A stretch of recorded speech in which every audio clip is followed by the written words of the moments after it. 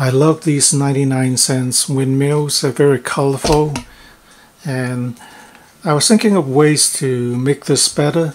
They already turn very nicely in the wind and so what I did was uh, I added an LED and this would be powered by the, by the windmill. So basically when the windmill turns the LED would come on. I'm surprised they haven't uh, made something like this. Uh, something that doesn't need a battery. is very simple to make. Basically you have to wind a coil about uh, a thousand turns and let me take this apart plastic part where you can what I did I just put in hot glue. If you want to make it more permanent of course you have to use epoxy.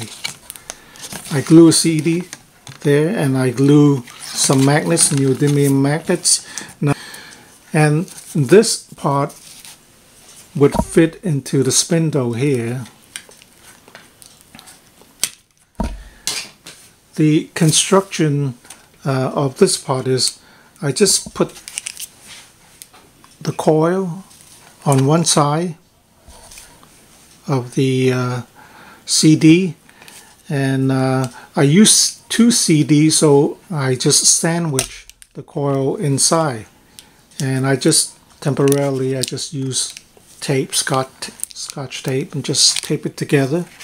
And you would have a surface where your, your magnets uh, can rotate and get as close to the coil as possible. This, this is less than a 16th of an inch brighter. You can put another coil there.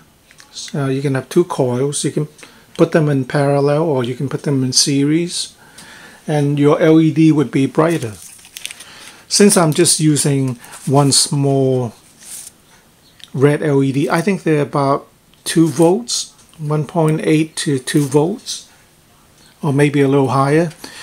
If you want it to light uh, better, you can use uh, green LEDs. I think the voltage, the forward uh, voltage is a little lower.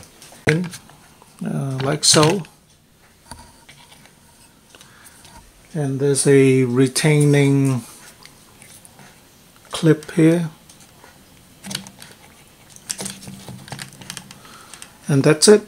You press it back in as the magnets rotate over the coil. It'll generate a small amount of electricity which is enough to uh, to light the uh, LED and you don't have to worry about the polarity because this is AC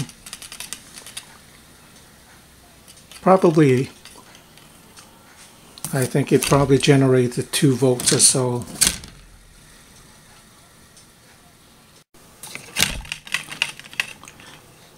So it doesn't really require a lot of RPM to to light up this small LED.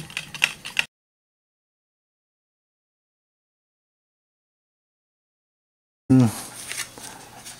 I have three here. You have to make sure the polarity is opposite of this. So when you put a magnet against this, it repels. So this is this is the side that you want facing down.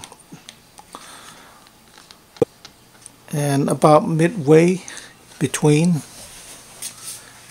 the center and the edge of the CD because this is how the coil is in the center is here. You want the center of the magnet to pass over the center of the coil there.